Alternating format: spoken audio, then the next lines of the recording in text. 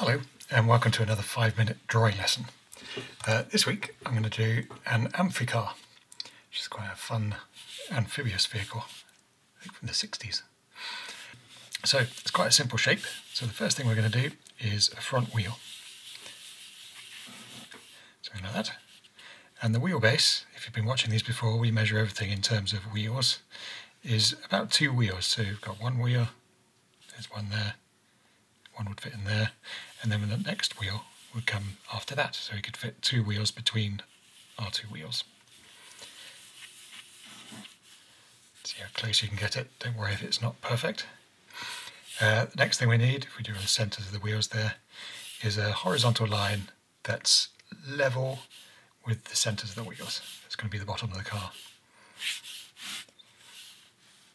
And then we need another one which is the waistline of the car, which is going to be just above the front, uh, well, we'll call this the front wheel, just a tiny bit above.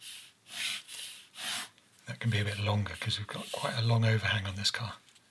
So yeah, I was saying this was the front, and if you measure one wheel out in front, a bit close to the edge of the page there, make a little mark on your horizontal line. That's going to be the furthest forward part of the car and if you measure another wheel at the back um, that's going to be pretty much you can do that level with the bottom baseline. That's pretty much going to be the back edge of the car there. Um, we'll probably want to put the top edge in. So this top top edge of the bodywork is going to have a slight curve on it.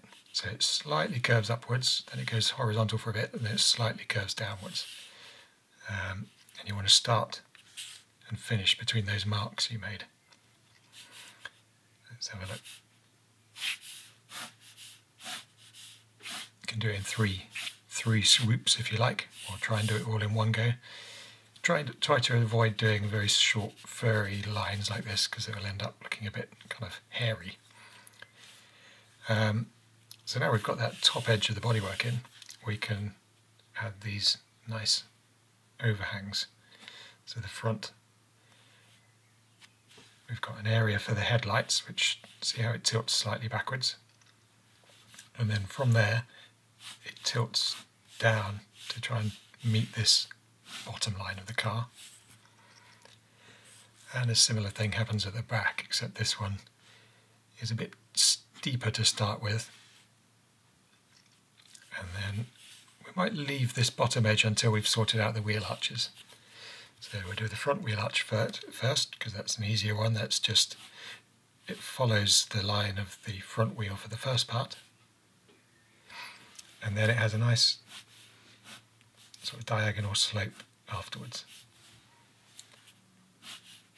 Then we go across and the back one's quite fun because it chops the top of the wheel off. So you have a horizontal line chopping the top of the wheel off. And then a little vertical with a little rounded corner. And again, that one also has a bit of a swoop backwards, but it doesn't go very far. It doesn't come down as low as the bottom of the car. About halfway before it gets there, it gets chopped off. And that can then roll into that. So there's the, the basic form of the bodywork. Now we've got a few things to add. So we've got um, door. So the front edge of the door is a little bit back from the edge of this wheel. So we've just got a vertical there. Obviously it can't go into the wheel arch, so it has a little curve and then goes across horizontally. And the door is about, it's a tiny bit bigger than the width of a wheel. So if you see, if that's the size of your wheel, just a tiny bit bigger, that's where the back edge will be nice and vertical so it's easy to draw these. Nothing complicated. Um, and once you've got that, that gives you your windscreen, which has a slight sort of tilt back on it. So there's the pillar for the windscreen. And the actual glass itself, because it's curved, you can see sticking out in front.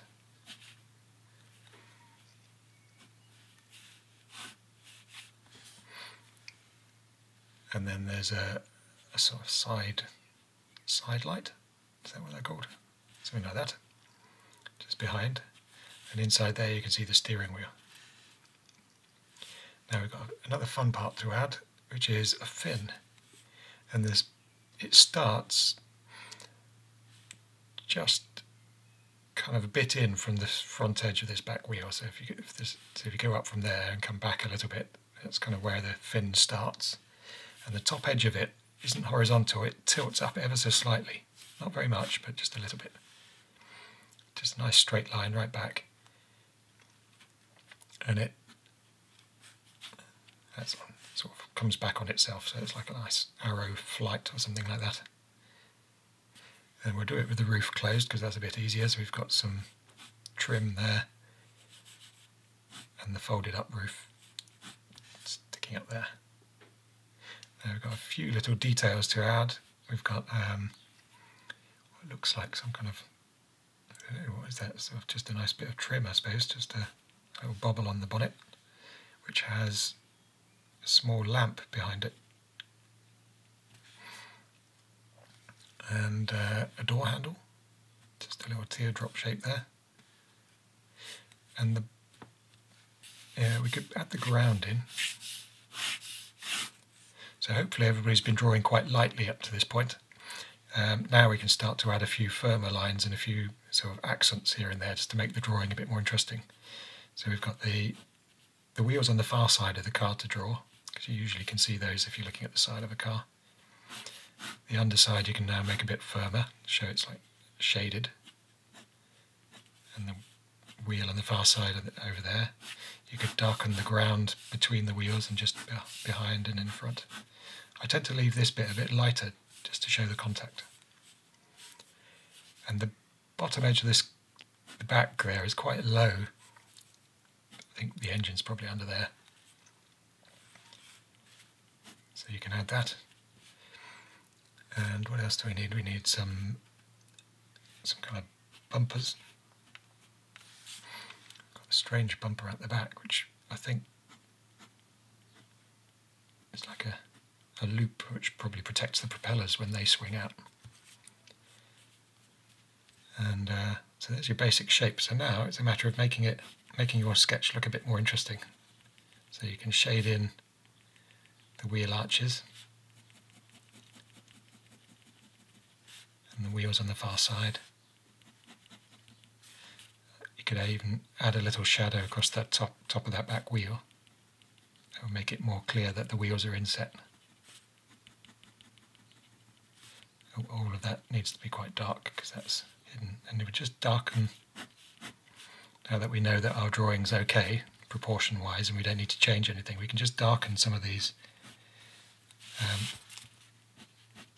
some of these lines just to tidy them up and make the drawing more interesting. Notice I'm turning the page around. It's much easier to turn the page so that it suits the sweep of your arm than to try and contort your arm into different positions. You don't want to outline everything dark, otherwise you'll lose that contrast between lightly drawn and dark parts.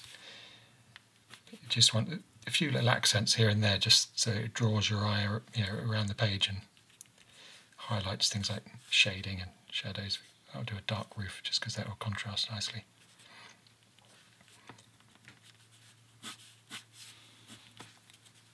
And that's pretty much it. Um, next week I'll show you how to do a three-dimensional view and maybe how to push the caricature of the car slightly so that it's a bit more exaggerated.